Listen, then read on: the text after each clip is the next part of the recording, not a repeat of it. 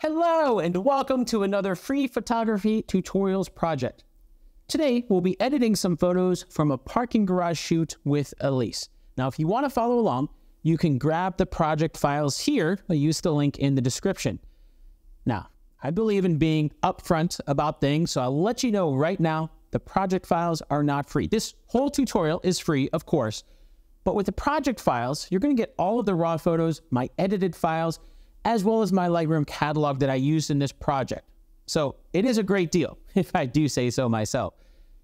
Before we get started, I want to hear what are your biggest challenges? What are your biggest photography related challenges? One of the things that I love about photography is that we all have different approaches for how to solve the challenges that come up. There's always creative challenges or technical challenges. There's all sort of challenges that can come up. And we all have different ways to approach solving them.